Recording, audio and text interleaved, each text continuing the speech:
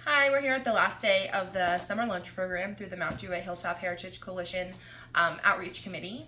So we've been serving lunches to people and children in the community throughout the summer. This is our last week, um, and we've served almost a thousand lunches, so it's very exciting.